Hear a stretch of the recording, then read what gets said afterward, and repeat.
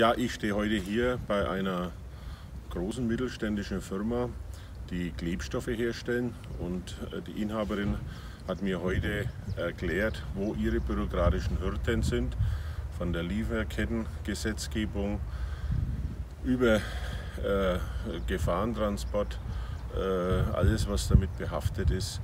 Und wir werden uns diese Sachen jetzt einmal genauer anschauen und versuchen auch hier in Anführungszeichen Lösungen zu finden. Ähm, aber man sieht, wie komplex unsere Welt geworden ist und wenn wir da immer noch eine Hürde drauflegen, äh, da müssen wir einfach aufpassen, sonst gefährden wir auch solche Firmen, dass die sich weiterentwickeln können und ihrer Arbeit nachkommen.